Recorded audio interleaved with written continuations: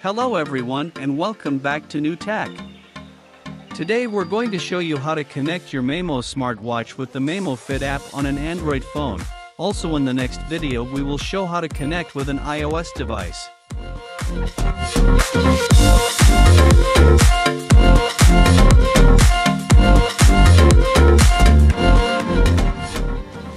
So, let's begin here immediately. We have the Maimo smartwatch and let's see how to connect it. You can download the app by searching for it in the Play Store if you know it. But if you don't you need to find the QR code for the app which it uses. So, what we're going to do now is take our phone and scan it. After we have scanned it will show us a link that sends us to the Google Play Store. And here we have the Maimo Fit app which we can download and connect to our watch. So, we are going to download it really fast right now and after we have done so we're going to go inside and see how to connect our watch. So now that the app is done let's open it up and see what's inside.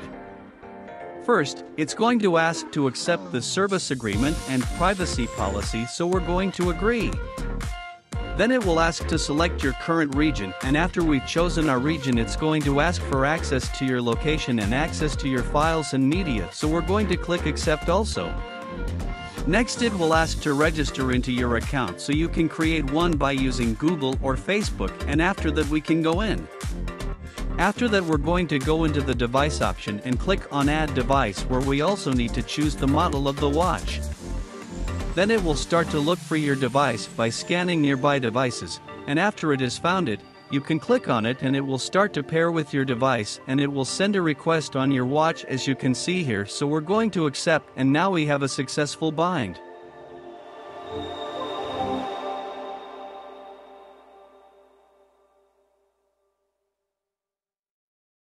Next, we're going to turn on the notifications permissions so our phone can send us notifications directly in our watch.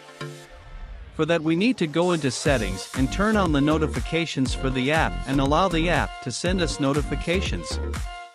After that we can go into the app and choose which apps we want to get notifications from.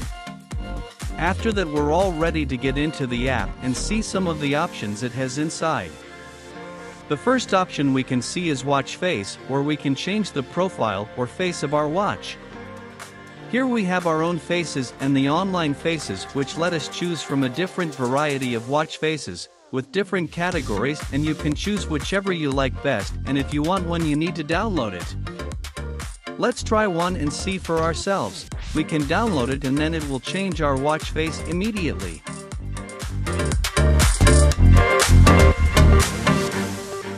Next, we've got individualization where we can further personalize our watch like Quick Card Manager where you can change the widgets on your watch based on which ones you want to be shown and we can rearrange however we want. As you can see here after we've done the changes, we wanted it has changed them instantly into the device.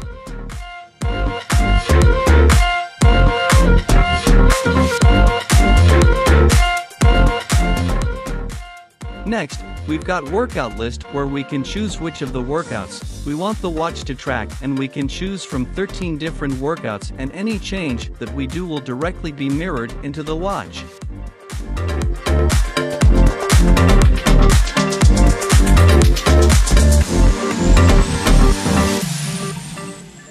Next, we've got health monitoring where we can turn on continuous tracking on heart rate, reminders over excessive heart rate stress, pressure monitoring and reminders to drink water and stand up and walk like a sedentary reminder.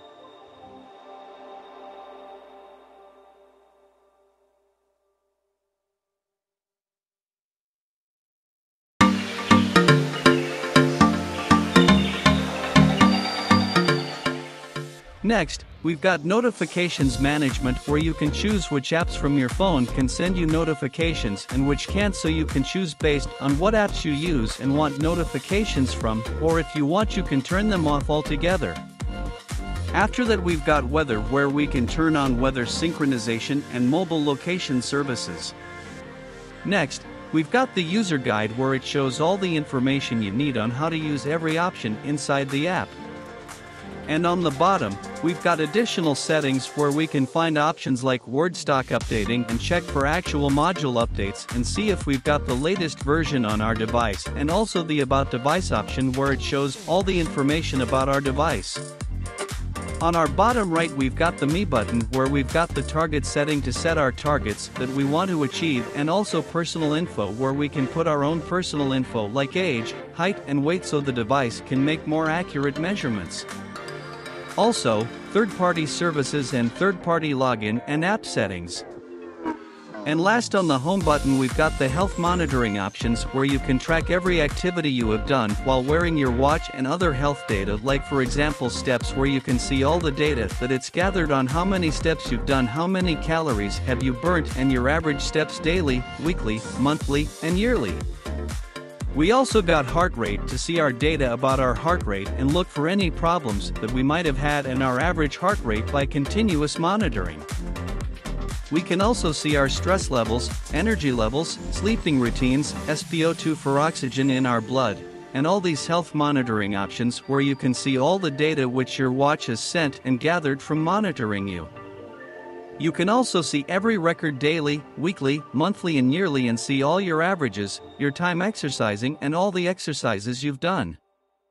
And you can also rearrange them however you want.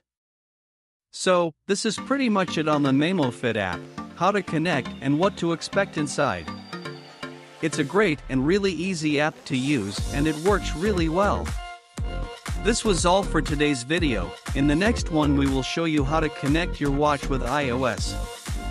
I really hope you enjoyed and found this video interesting and helpful, if so, hit the like button and subscribe to our channel and we will see you in the next video with another smart device.